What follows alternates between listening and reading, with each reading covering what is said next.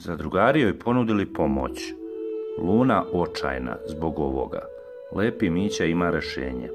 Nakon veselog buđenja uz zvuke narodne muzike čulo se dobro poznato zvono koje označava da je stiglo pismo.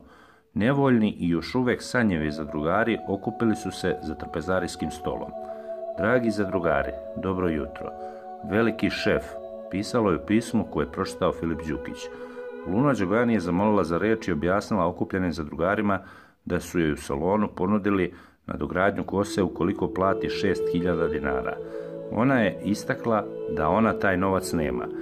Mogli smo da skupimo da ti damo te pare, rekao je neko od zadrugara, a lepi Mića se nadovezao. Možemo mi svi da skupimo po 200 dinara do sledeće nedelje. Nema šanse ove nedelje, smanjen nam je budžet, prokomentarisala je Gordana Džehverović.